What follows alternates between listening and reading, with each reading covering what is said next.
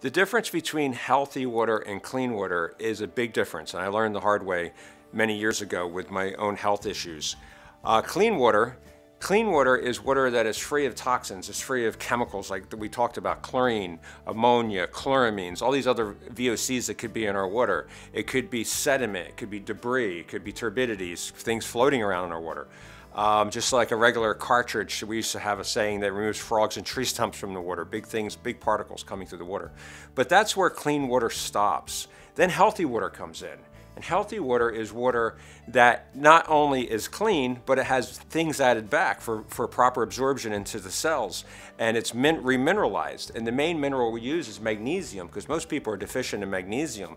Is it your daily supply of magnesium? No. But is it the proper amount of magnesium, the good, good cellular hydration? Yes. And that's very important to have those parts per million of magnesium in there to make you properly hydrate.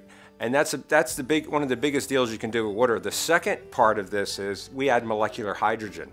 And this molecular hydrogen actually goes into the cells, charges the cells, energizes the body. It's hydrogen is one of the most amazing elements. I could go into that. There's a, there's a, there's a lot of information on molecular hydrogen.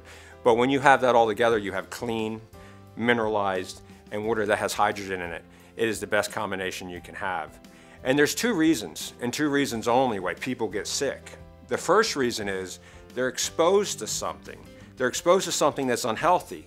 So every time you get in a shower and you have toxins, you're, you're, absorbing all these toxins in your body. So what does your body have to do? It has to go into this fight or flight mode because it's dealing with these toxins every day. And you don't even think about it. You think you're just washing your hair and cleaning your body and doing what you're supposed to do. Well, you are, but you're dealing with something that's really bad. And this is one of the reasons people get sick. So think about autoimmune disease. Autoimmune disease is an immune system that's turned on that won't shut off. And this immune system is going to be fighting every day to deal with these toxins in the water. Some people's bodies will adjust to them to an extent, but some people won't, and they'll have a lot of problems. And the second reason is because we're not getting something we need. So we could, we could not be getting hydrated because we don't have the minerals in our water.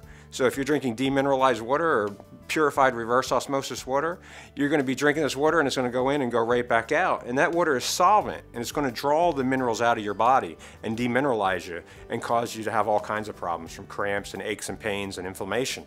So by getting healthy and clean water together, you're getting the best combination you could ever get.